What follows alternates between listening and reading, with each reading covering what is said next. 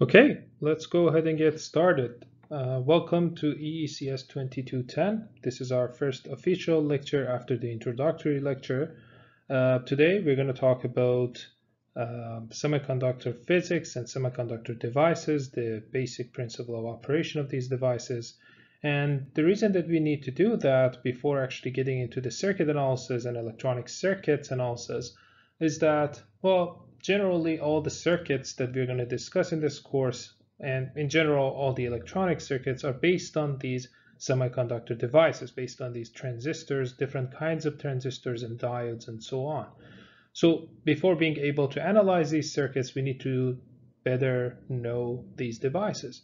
And to know these devices and their principle of operation we need to know a little bit about their physics.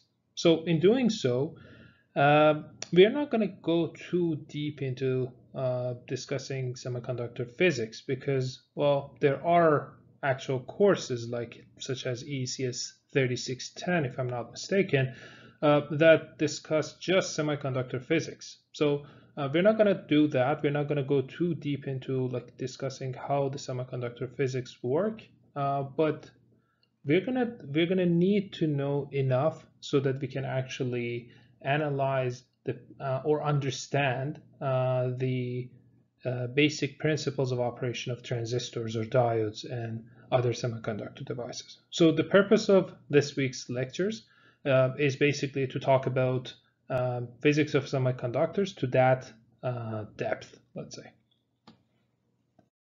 So from basic chemistry, we remember that inside an atom, we have a nucleus and we have bunch of shells around this nucleus, right? And we know that the last or the outermost shell, we're going to call it the valence one. The number of electrons in this shell uh, really determines the level of chemical activity of that atom. For example, for a sodium, which is um, of group 1 uh, on, in the periodic table, we only have one electron. It's actually quite active and it's quite uh, ready to uh, relinquish this electron and basically have some sort of a chemical activity with another atom, uh, such as chloride, which has like seven of these electrons on the outermost shell and wants to, it's basically an incomplete shell, an incomplete valence shell, and uh, wants to be complete. So it takes one electron from sodium, both of them become complete shells and both of them become happy or stable. Um, that's why they're very eager and very active in terms of like basically chemical interaction uh, with other atoms, right? And then on the other hand, so Na or chloride, we both they, they both have like they're pretty active on uh, group one and group seven. We also have uh, gases, inert gases such as neon, right? So neon, we, we know that it's an inert gas. It has a complete shell. It has like eight electrons in the valence uh, orbit. So it's not going to have any kind of like, it's not really interested in having any kind of interactions, chemical interactions with any other atoms, right?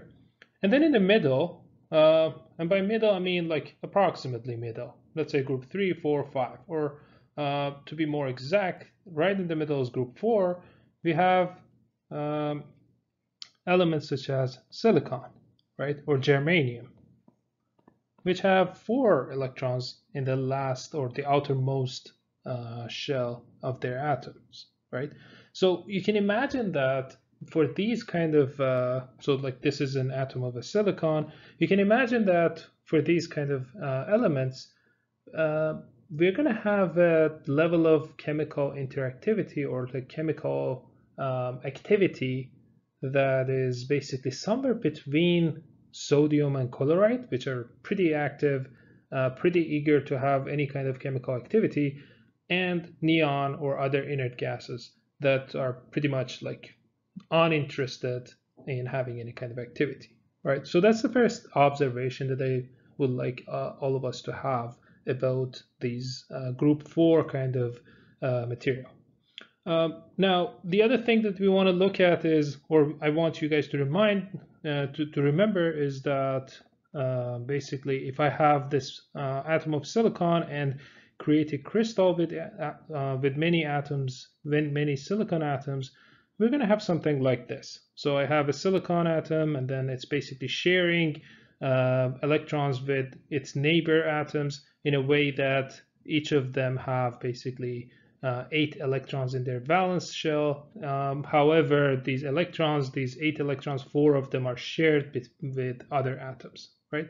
Um, and then, well, that's why we call this basically the bond between them a covalent bond. So it's coming from the valence uh, shell, which is the outermost shell, and the co is really trying to remind us that is it's a shared kind of a valence um, electron. Okay.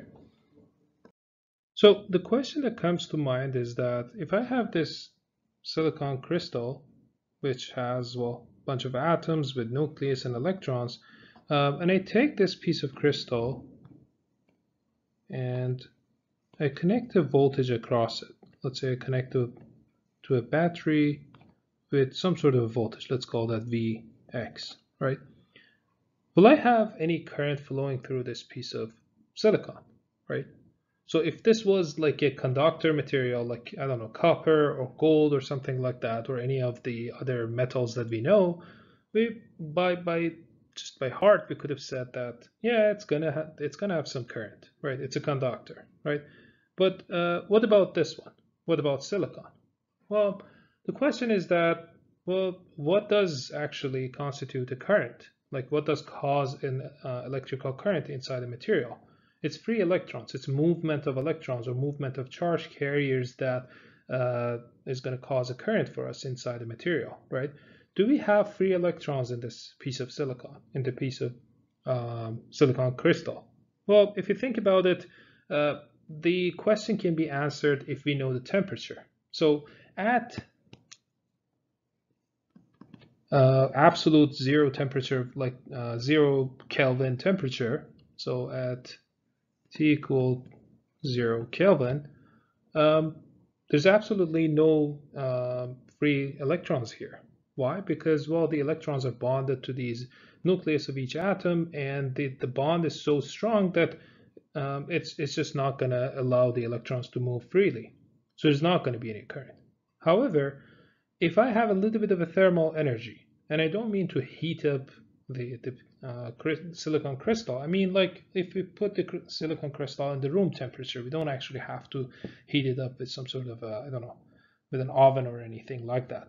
So if we put the silicon in a room temperature, meaning that let's say let's say the room temperature is 27 degrees, that means T equal to 300 Kelvin, right? At this temperature, we know that each electron has a little bit of thermal energy, right?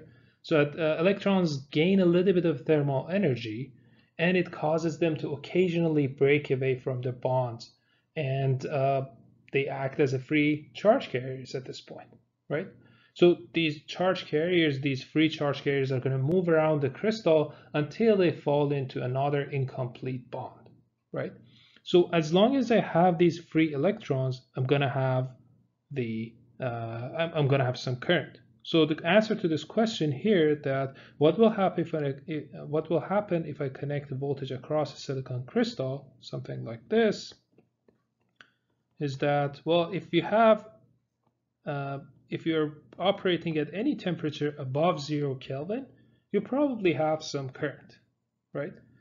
But then well that causes or that brings up some subsequent questions like how much current? What is the relationship between the current and the voltage and uh, how many of these uh, free electrons will I have like can you quantify the process right so we need to actually answer all these questions to be able to actually understand the, to better understand the semiconductor uh, materials and semiconductor devices so here I've listed all these questions or all the important questions. The first one is where do charge carriers come from? So like we know that by increasing the temperature, we might have some charge carriers, and these charge carriers, these electrons are actually released from the covalent bonds. But are there other ways that we can have some more electrons or other types of charge carriers?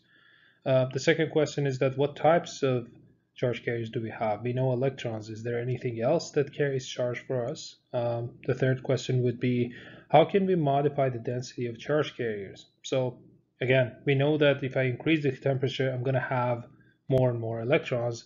Uh, the question is that first of all, well, how fast I'm going to have more electrons? Should I increase the temperature? If I if I want to double the number of electrons, should I increase the temperature by two degrees or four degrees or ten degrees, right? Um, because we know that when you're using your cell phone or your laptop, you're not actually increasing temperature to actually have a better performance. So there should be a better way other than increasing temperature uh, to have more electrons and more conductivity in these materials, right? If it's a semiconductor, meaning that it's well somewhere between a conductor and an isolator, if I want to actually uh, control this conductance and the quality of this conductance, I need to be able to actually do it without actually having to change the temperature, right? So what's the other process of uh, modifying the density of charge carriers? And the last one is that how do charge carriers move, right? So like I know that electrons move if I apply voltage across them, but is there any other uh, other kind of uh, mechanism that uh, re results in any kind of like electron movement or any other kind of charge carrier movement, right? And then I need to quantify this movement, how fast these move this move these movements are going to happen, because well, charge movements means current, and I need to actually calculate current, and I need to know what is the voltage current relationship in these semiconductor um, devices or well, semiconductor material in general.